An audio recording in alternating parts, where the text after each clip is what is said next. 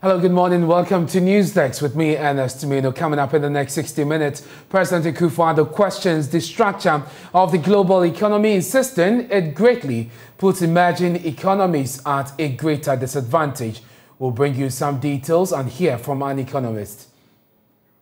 Suspect named in connection with the murder of prospective nurse in uh, to appear before court we have details for you. And also, uh, Ghana cannot prosper unless NPP and NDC politicians tackle socio-economic well-being of citizens instead of focusing on the political fortunes of their parties. That's according to policy analyst Dr. Steve Manteaw. Why? Stay tuned for details. We have that plus the latest in business, sports, all coming up in this bulletin. Please stay with us.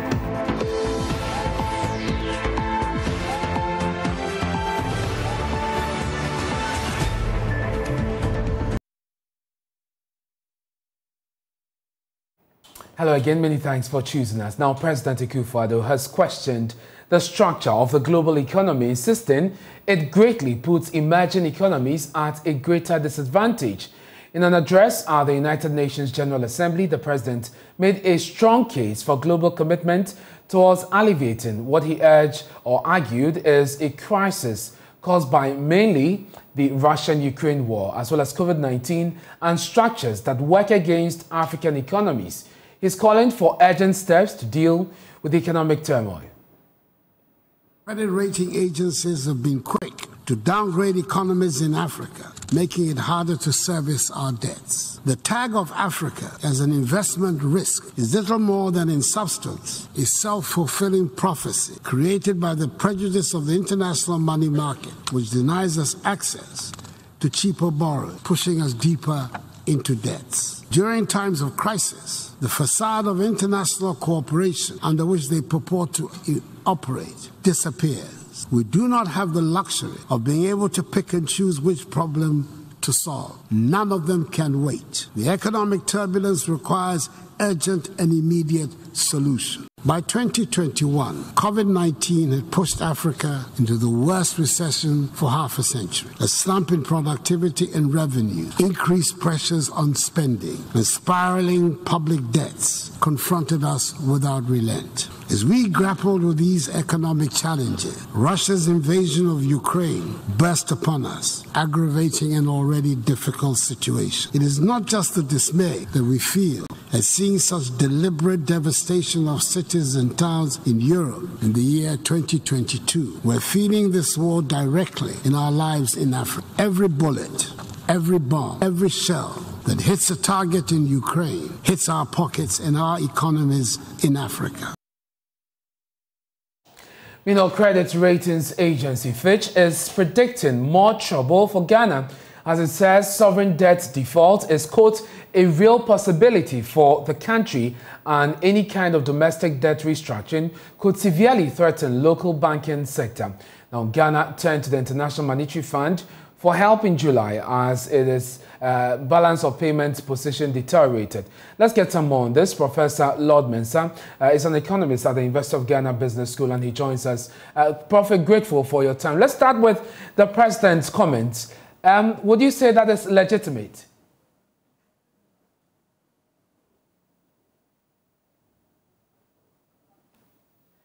Prof, you'd have to unmute so we can hear you. Hello, can you hear me, please? Yes, we can hear you now. What do you make of the president's comment? Yes, I think uh, if you look at the market, the market is an open, I mean, place where you have to decide whether you want to buy over there or not. Mm-hmm. It's not a place that anybody will be forcing you to go and borrow or to go and, I mean, take money from. Effectively, um, yes, uh, then the market tries on information. And once information changes, I mean, the investor may want to be aware what exactly is happening. And everybody knows very well that the African continent poses, you know, more or less a threat when it comes to sovereign investment.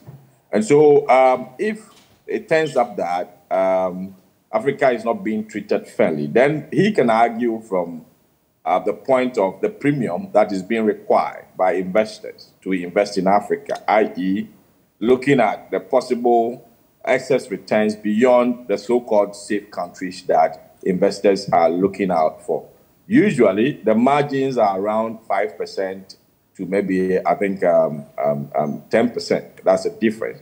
Normally, they, they use America as um, the safe haven, and effectively, any investor will be looking at the returns beyond what they can get from a safe haven like America. So um, it is a market that is open. You have to decide whether you may want to borrow from that market or not.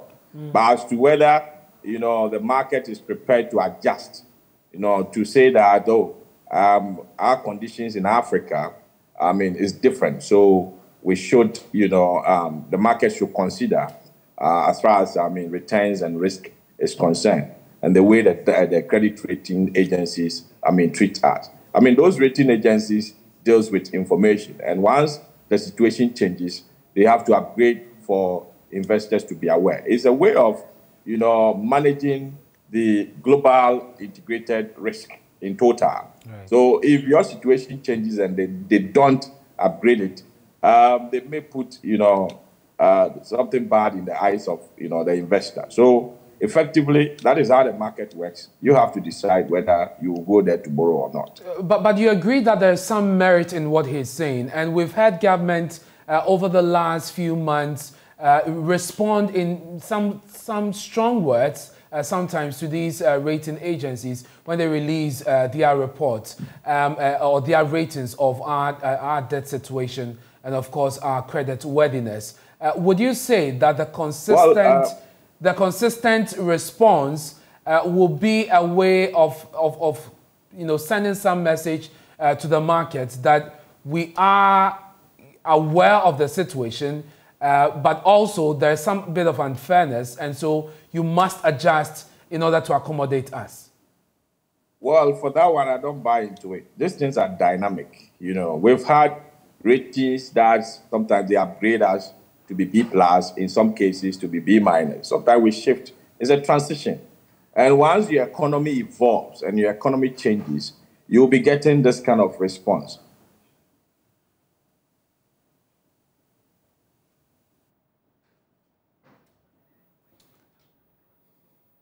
Well, it appears that uh, we lost uh, Professor Lord Mensah there via Zoom. Uh, we're working to uh, reconnect to him uh, to have his thoughts on the uh, president concern raised at the UN General Assembly, where he's questioning the fairness of the international financial market and all the rating agencies, especially in these difficult times. For him, he believes these systems, the structures, are skewed to the disadvantage of Africa. Ghana, obviously, is in some economic challenges, and uh, we're turning to the IMF for a program. Uh, but let's go back to Zoom now and hear from uh, Professor Lord Mensah. We, we, we lost you briefly, Prof.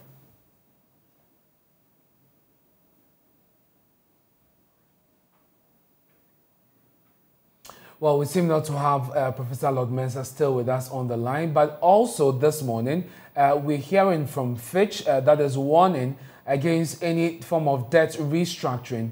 Uh, Fitch is warning that that could have some consequence for the local banks. You know that government holds a lot of its bonds with the uh, local banks. Some of them have actually been downgraded uh, as a result of that. Um, it is further warning that any form of restructuring will come back to hurt the economy because the banks will suffer. Just yesterday, we heard from the Bankers Association making the point that they are committed to uh, making sure that they fund businesses. Uh, they made some 5 billion support to the YouStart program of government. Um, let's go to the phone now and speak to Professor uh, Lord Mensah. Prof, we lost you briefly uh, when you were making the point about, uh, you know, government uh, retort to some of these rating, ratings. When these um, agencies come to you know, rate us from government. I mean, it's not good. I mean, it throws more uncertainty to the investor because the investor tries on information and the consistency of the information is very, very important. So what the rating agency is putting out there is based on your economic parameters. It's based on your ability to pay your debt. So if you respond in a manner to say that um, the rating agencies are not being fair to you, and as a result of that, the market should consider I don't think um, it's a good call. Um, what we need to understand is that economies go through transitions.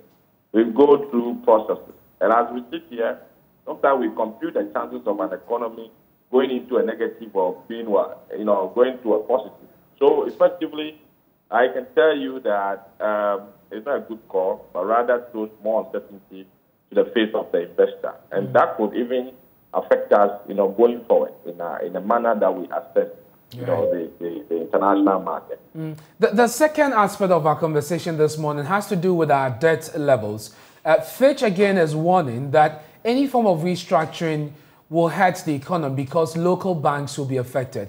I mean, one of the things that you economists have said is that we need to restructure our debt. It is one of the reasons we are heading to the IMF, hoping that it will give us the space to be able to do that. Uh, but with this warning coming from Fitch, how can government navigate this very uh, difficult, uh, you know, rope? Yeah, I mean, debt structuring, um, restructuring is inevitable because um, looking at our situation now, um, we cannot keep on, you know, being under such pressure to satisfy our interest obligations and all those.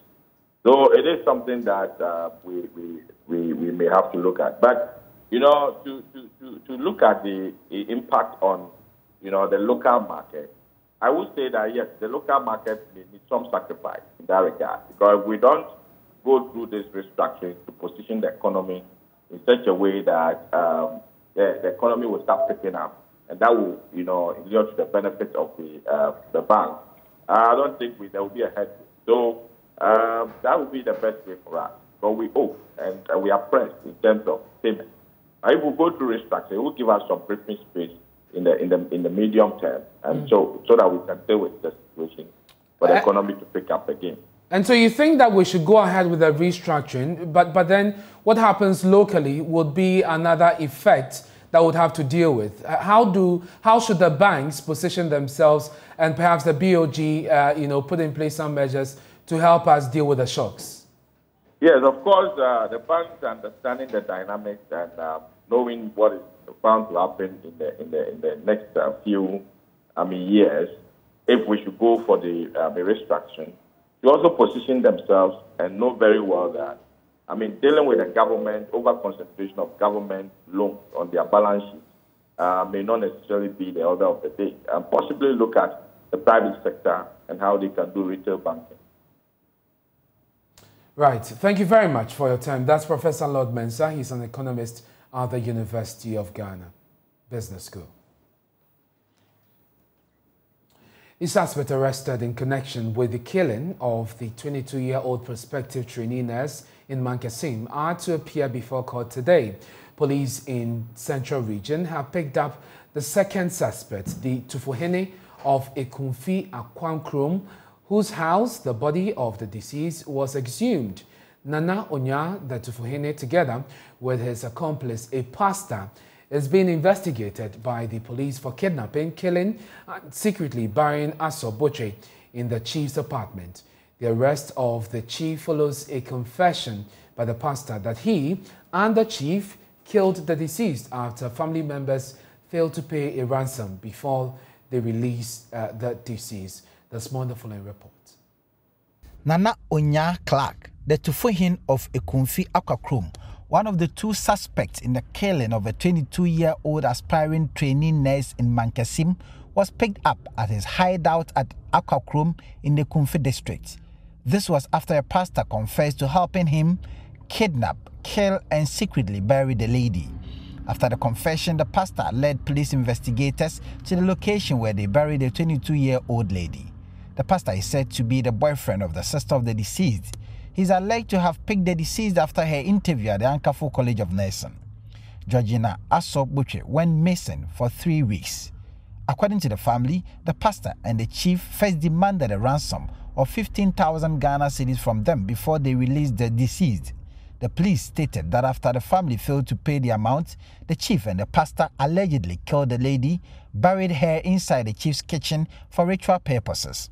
On Wednesday, the Mankasim District Police Command arrested Nana Clark Onya and had him transferred to the Regional Police Command in Cape Coast to assist in investigations. Central Regional Crime Officer Chief Superintendent David Jabbar confirmed the arrest and says both suspects are in regional police custody. He wants the public to give the police the maximum support to deal with miscreants in society. Suspects were Cape Coast. They are now in police custody.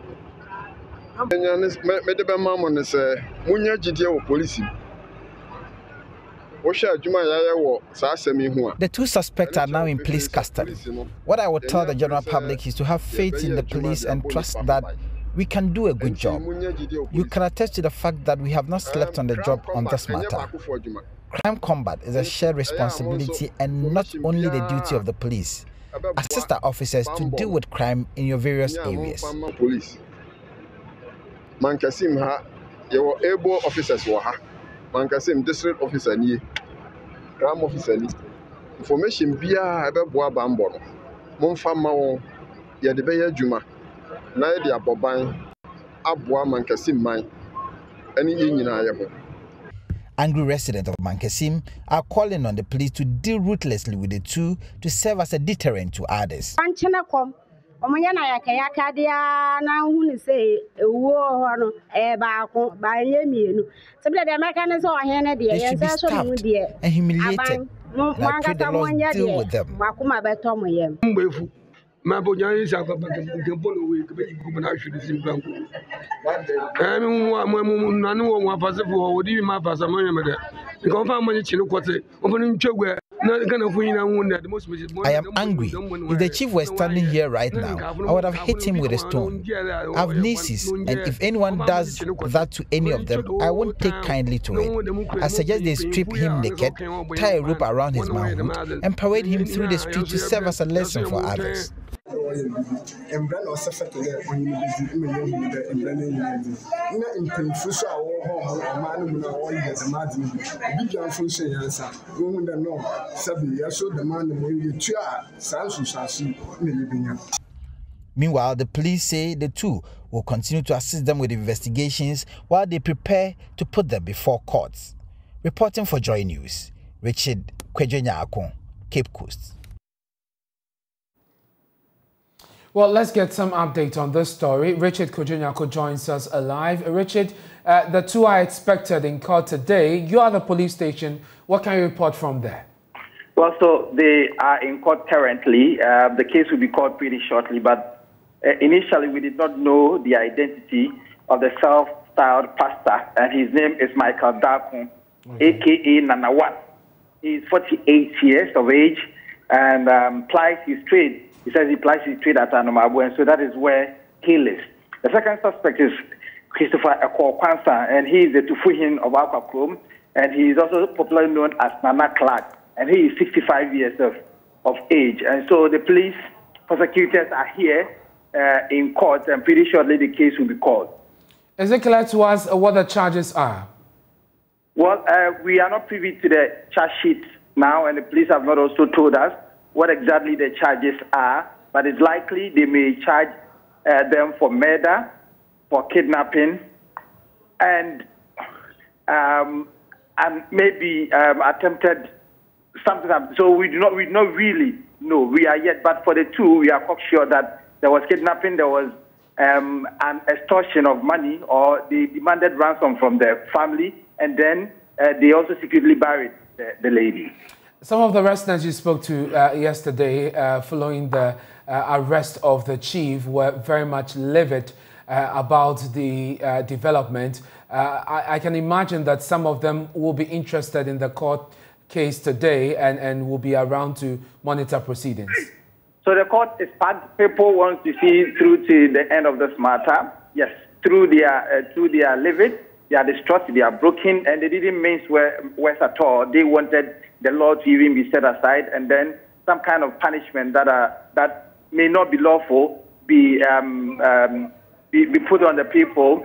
Um, they should be stripped naked, paraded through the streets of uh, Mankesim and its environs, so it will serve as a deterrent to others. Right, Kojo, thank you very much, and uh, we'll be keeping tabs on this story. Definitely bring uh, viewers up to speed on what transpires in court. To other stories now, and Chief Policy Analyst at the Ghana Institute of Public Policy Options, Dr. Charles Wereko-Brobby, says government achievement in the fight against corruption should be judged by results only and not rhetorics. Speaking in an interview ahead of the Baah-Wiredu Memorial Lecture set for today, Dr. Wereko-Brobby said the success of the fight must reflect in getting tangible results. At corruption, is that to say you don't see what they see? You know, I'm, I'm an engineer by training. I'm a scientist by training.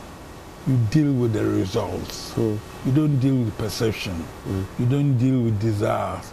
You don't with, deal with political wishes.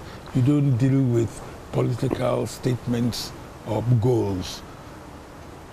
If you succeed, the success should be reflected in the reduction in corruption, reduction in pilfering, reduction in the uh, misappropriation of the public purse. That, for me, is what you need. You see, uh, you don't need to go out and tell everybody, I, I, I, I, have done this or I'm doing that. The same thing with the fight with Galamsey, for example. I was just about to get to that. Galamsey. you know, you, you can keep talking about, I mean, uh, last week I heard somebody talking about the government came out with a blueprint for fighting Galamsey. Well, a blueprint that is not put on the road to actually fight right. doesn't take you very, very far. So there are a lot of uh, great noises being made. Um, it paints a good picture. Tend to convince your own that you are doing well. But you know, we have a situation where I'm told, but well, we are told by Bloomberg, for example, that up to 150,000 tons of our cocoa mm. are likely to be rejected mm. because they've been poisoned by the effects of illegal mining and, mm. the, and uh, mercury, cyanide. Yeah, exactly. So, not only are we seeing, seeing the failure, it's now even beginning to affect our main economic activity. Mm. And um, uh, I, I, I, really think that we, we are people that talk too much and not do enough. Mm. So the proof of the pudding, as they say, is in the eating. Is in the eating. So if you, if you want us to believe that you are really fighting corruption, then let's see corruption going down in a realistic, palpable way so that people do not get uh, onto radio stations or the media or make a lot of noise about how we are fighting corruption.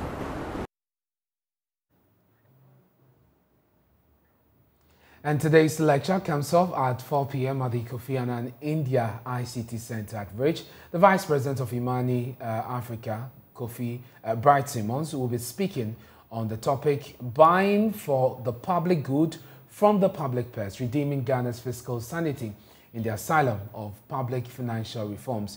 You definitely don't want to miss this. Let's do some other stories now. Our politicians are using the divide and rule tactics to control the rest of us. That's the verdict of the policy analyst, Dr. Steve Manteaw. He insists Ghana cannot prosper unless NPP and NDC politicians tackle issues based on how it affects the socio-economic well-being of citizens. Dr. Manteaw made the remarks at the Ghana Extractive Industries Transparency Initiative Forum in Sunyani, from where Precious Sembevo reports. We'll bring that report to you uh, later in our subsequent bulletins and hear from uh, Dr. Steve Manteaw. You're watching News Today with me, Ernest Menu.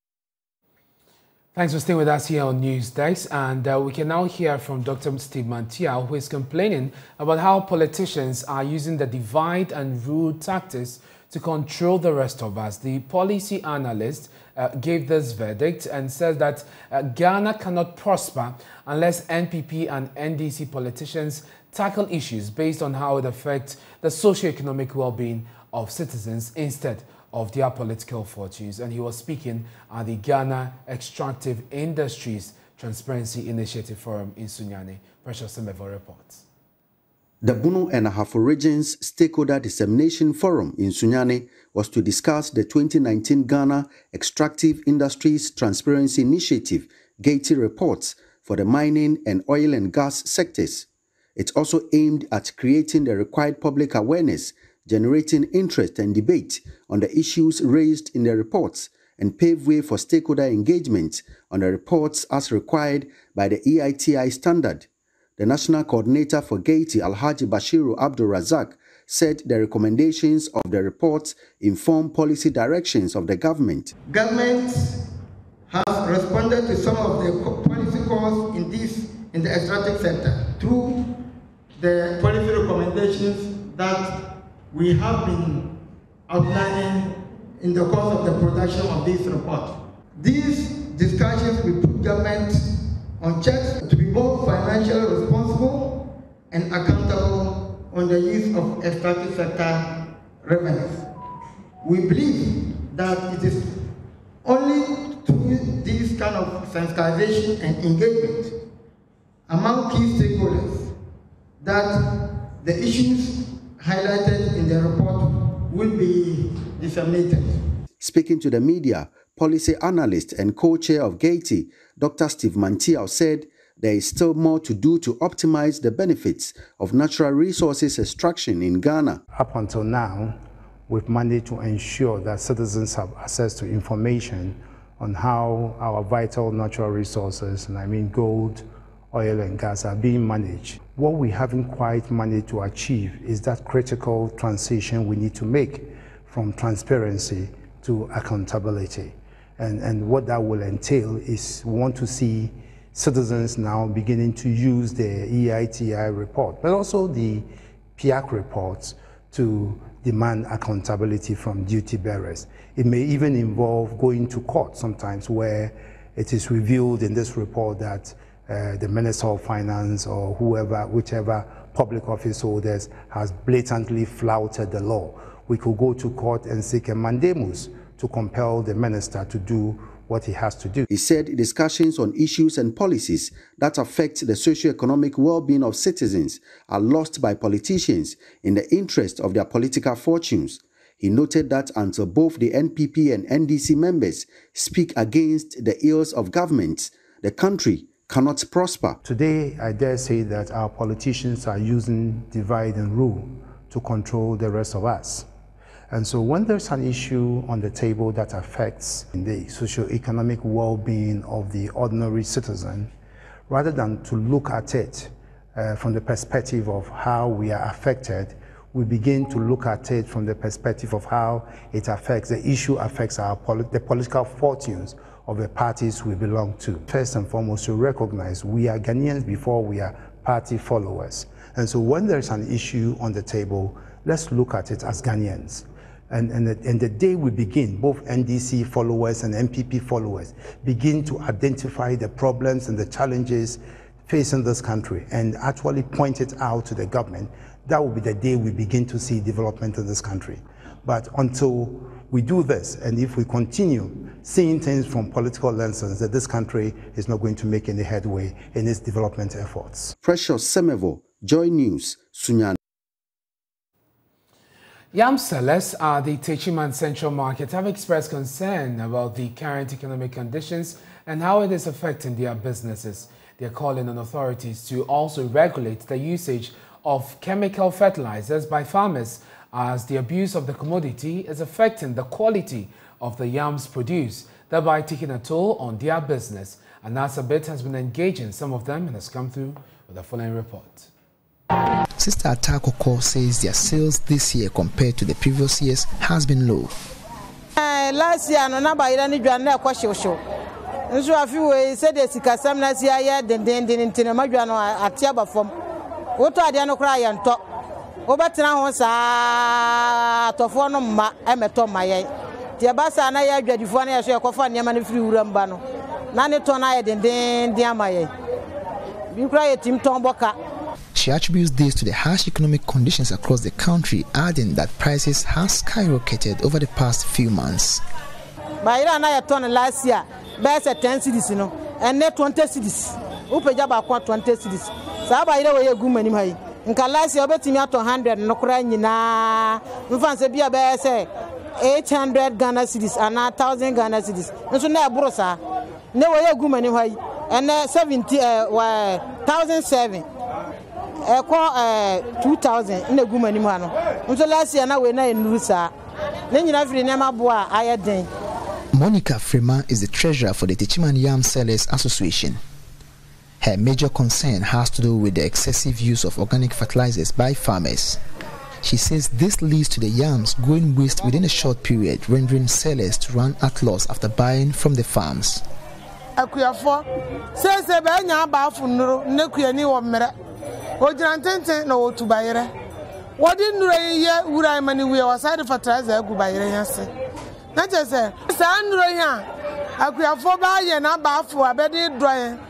yɛn eku yɛn kakrakrakra nneɛma wuo ɛne yare dɔm adɔɔso yɛn bia na wakɔgye bank bɔsɛn wɔatɔ adeɛ yɛn gu bayerɛ nso deɛ yɛdi ne kakrakakra wani bɛba ho so wokɔfa bayerɛ ha. Bayerɛ wosɔ ma na abu aka wo nsɛm ma na abu aka wo nsɛm ndeɛ bayerɛ ha baako bɛtumi apora ma naka bɛyɛ bayerɛ bɛyɛ du.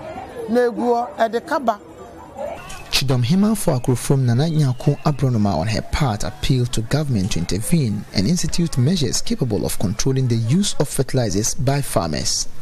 meka kakra de asra aban sɛ nnuro a aba sesei a yɛde yɛ kuya no mesrɛ no anka yɛnkasa ma nneɛma bebree ma na tete no a na yɛde sekan ne asɔ ne yɛ afuo no. Na bayɛpuro bi ani ho ɛba sa aba lɔn yɛakɔ akɔgye a na de berɛ nti wei deɛ kakra wei a ne yɛsrɛ sɛ aban mmoa yɛ sɛdeɛ ɛbɛyɛ a bayɛporɔ no ɛbɛkɔ fam. They are also perturbed by the indiscriminate parking of long vehicles around the yam space. Nana Sewa wants city authorities to intervene as well as provide security for them. kaase akɛseɛ yɛkɔfa bayerɛ bɛgu dwam a na adrɔbafoɔ de kaase bɛgyina gyina anim hɔ nyina wonya baabi. Obi kora ɛba wɔ hu no sɛ bayerɛ gu hɔ. Na afei so yɛni ahobanbɔ kyerɛ sɛ yɛni security biara bɛrima bi yɛni polosini bia wɔ ha wɔhwɛ yɛ wɔn sɛ mmaa no a yɛwɔ ha nwunu dwa ne yɛde mirika kɔ fie so akorɔmfoɔ so wɔ ha So this has been the situation from the Techiman Yam market. Traders are lamenting some of the key issues that is actually disturbing them and their trade. My name is Anna Sabit, reporting for Joy News. An agricultural policy advisor has supported calls for government to wean off farmers from fertilizer subsidies. A joint police and national security operation last week saw over 500 smuggled bags of cocoa fertilizers impounded. In an interview with Joy News, Abraham Juma Odum said such policies have often been counterproductive given the lack of supervision and poor implementation. He said it is time to approach agric as a full commercial venture. Yes. You see, for far too long, we have looked at agriculture as a developmental item. But I believe that we need to place agriculture where it has to be.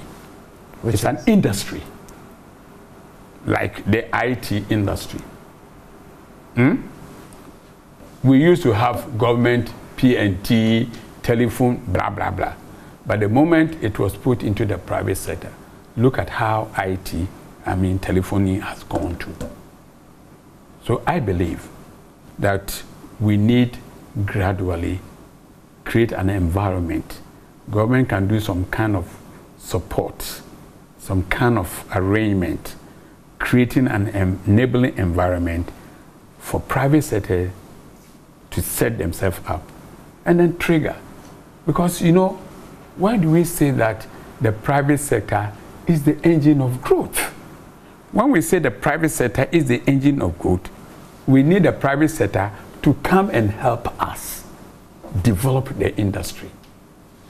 Right? Mm. So, what the point I'm making is that yes, we need to support the private uh, farmers, but let's have it as a mindset that we have goals. We are supporting up to a point. The farmers must be able to handle themselves in the long run. And that will be more sustainable than always government helping. Because, you see, the, the, the, the, the irony of the issue is that if government is trying to help, you put money into the system, and what is happening just three days ago, what happened? Money that is meant to subsidize, subsidize would end up in the private pockets. Mm. And that is what I hate.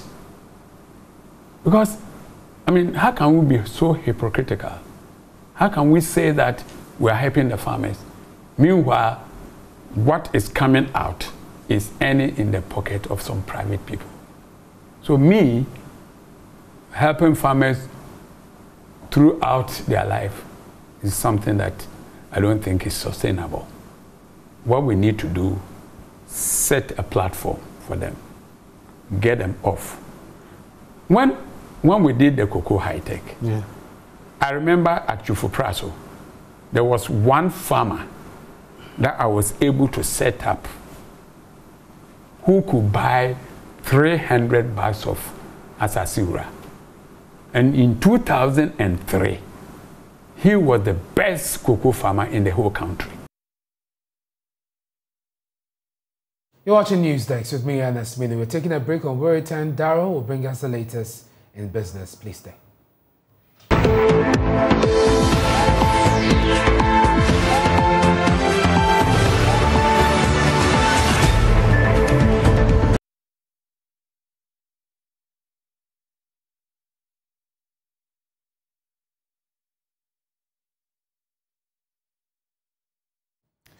Hi, good morning. Welcome to Business. My name is Daryl Kwao. The Ghana Investment Fund for Electronic Communication GIFEC, together with GIZ, has climaxed its digital skills training for entrepreneurs. Speaking to journalists after the climax and graduation ceremony at Kyebi in the Eastern Region, Deputy Administrator of GIFEC, Eva Andopoku, explained that this will boost the operations of businesses. Here's more in this report partnership with the German corporation GIZ, the project seeks to strengthen the digital capacities of women and youth in utilizing information and communication technologies to build and expand businesses while making them ready for the job market. The Ghana Investment Fund for Electronic Communications, GIFEC, has so far trained about 2,500 youth and women in this initiative across 40 selected community ICT centers in eight regions of the country. Deputy Administrator for GIFEC, Eva Andopoku, speaking at the graduation ceremony for participants in Kyebi, hinted that similar projects will be rolled out to benefit more people. Are in a digital era and hence and hence it's absolutely necessary that we leave no one behind um, especially um, after the aftermath of the COVID we realize that um, everywhere you go people use ICT to communicate and do all sorts and is actually proven to be a source of economic development in various countries and globally, if I should say. Speaking on behalf of GIZ, Stephanie Huber highlighted the importance of the project to the growth of local economies. The digitalization of the Ghanaian economy provides a huge opportunity for the country to leapfrog the provision of efficient public services such as health, education, revenue generation, creating of new jobs for the growing unemployment youth, protecting human rights and freedom. These opportunities are some of the reasons why the Digital Transformation Center, shortly DTC, has been set up. Its goal is to provide the support to the digital transformation agenda of Ghana. Some beneficiaries also share their experiences on the training program. Through this training, I've been able to understand how to interpret very large amount of data. So I would recommend this this program for everyone. If you hear it, make sure you register and come and be a part of it. Um, we were taught so many things. We were taught um, like um, face, how to open a Facebook account, how to open a WhatsApp business, how to hack um, your own phone, someone's phone, and how to unhack so many things. The team from GIFEC paid a courtesy call on some chiefs at the Ofori Fie to seek for traditional blessings upon the initiative before the ceremony. In other news, the Kumasi Technical University is engaging the Suame Magazine Industrial Development Organization to foster academia-industry collaboration. It is envisaged to culminate in the signing of an MOU which will allow the sharing of knowledge between the two institutions. The executives of SMIDO have therefore paid a familiarization visit to the Faculty of Engineering and Technology's state-of-the-art workshop at Adako campus. Here's more in this report. The KSTU's Faculty of Engineering and Technology state-of-the-art workshop is equipped with the latest machinery in areas of electronics, automotive, milling and machine design. Vice Dean of the faculty, Dr. Prince Osuansa, also for the collaboration will be crucial in ensuring effective partnership between the formal and the informal sector for sustainable development. The main aim is to, to, is to sign an MOU, but as, as I said earlier on, we wanted them to come and see what we really have here. Some of them that, that doesn't mean we really have this particular edifice here. Then we have really gone far, but we want them to come and see this particular edifice that we have here. And then we can really sit down. The Vice Chancellor, the PVC are all into this. The Minister of Education is really into this. And then once they see this, we are going to come out with what we think can help them. They also bring yes, and they will sit down and then really sign an MOU, which will really benefit the two of us. We want to exchange uh, uh, knowledge. We also want to also create income generation between our youth and the informal sector. Chairman of SMIDO, Albert Kofi, believes the collaboration will boost particularly Ghana's automotive industry. We are trying to see how best we can, the, the, the, the formal sector can uh, collaborate with the uh, informal sector. So now we are being introduced to so many things that they can that can help us for that collaboration. Uh-huh. So from here we are going to also to pick from pick from here how best we can move on uh, with our automotive or engineering industry. So it's a very nice uh, uh, collaboration. Reporter for Joy News, Kwesi Deborah. So that's uh, the you know coach of the Black Stars there uh, speaking to the press. Uh, they'll be playing Black Stars. Yeah. will be playing on, on, Friday, Friday, against Brazil. Mm. So um, ahead of the game, you remember Mohamed Kudus has been in good form for Ajax recently. Yeah. Um, he scored six in the last five um, appearances he's made. Okay. And he's done that playing as a false nine.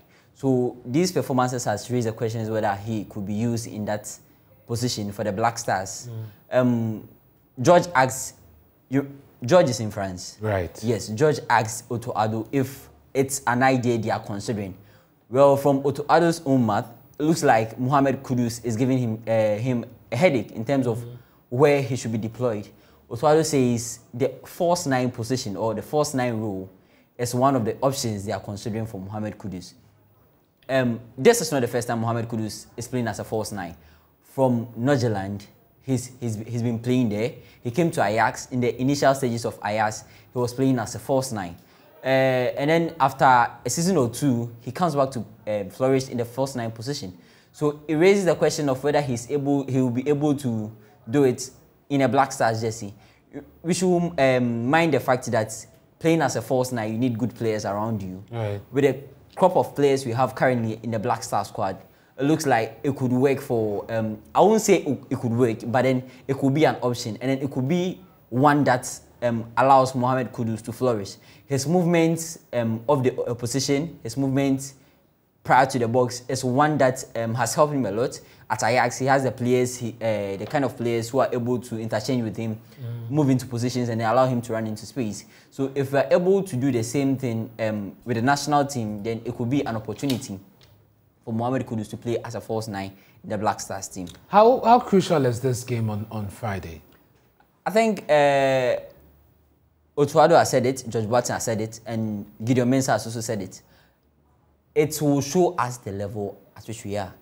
If you really want to flourish at a World Cup, you really want to do well, go past the group stage, we you need, need to test yourself against one of the best. And currently ranked number one in the world, um, there's no better team to play than Brazil at the moment. Right. So um, for the Black Stars, yes, there's an opportunity. Eh, I, I, like the way George Boateng put it. He says, eh, if you are the coach, you don't want to test yourself against the best of coaches. But then for the players as well, they need to test themselves against the best players. Because you go to the um, World Cup, you, you face the Luis Diaz's, you face the Cristiano Ronaldo's, you face the Fede Valverde's. So it's, it's quite an opportunity.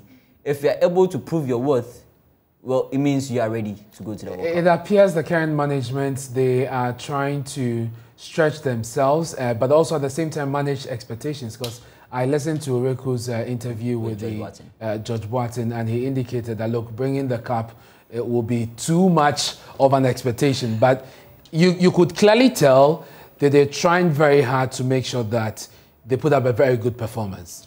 Bringing the cup is obviously a very difficult thing, but I guess we want to go beyond our last best performance. So perhaps reaching the when when the the FIFA draw was um, the group stage draw was conducted, Yeah.